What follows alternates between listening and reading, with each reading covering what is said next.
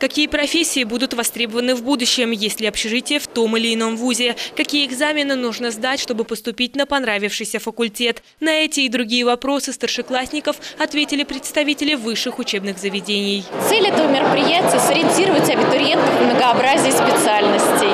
А, ребята разговаривают с представителями вузов. Это помогает им определиться и понять, на какую кафедру они хотели бы поступить.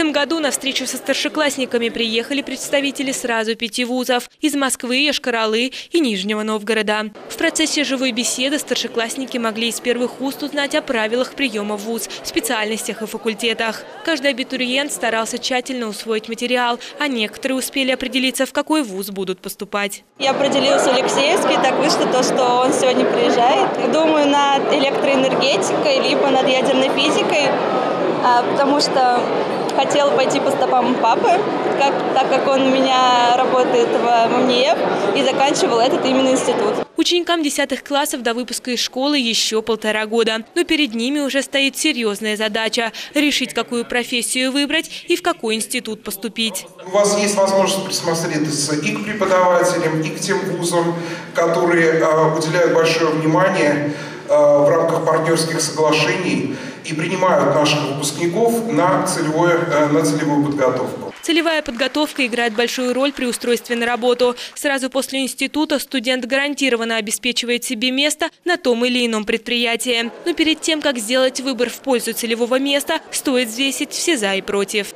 Ирина Вышегородцева, Владимир Есенников, Владимир Лисик. Служба новостей Саров 24.